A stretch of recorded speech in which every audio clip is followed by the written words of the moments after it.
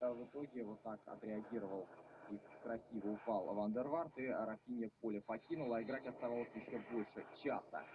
И, конечно, после того, как у Гамбурга появилось преимущество в одного футболиста, эта команда э, пошла вперед и закончилась э, тем все, что Рафаэль Вандервард нанес точку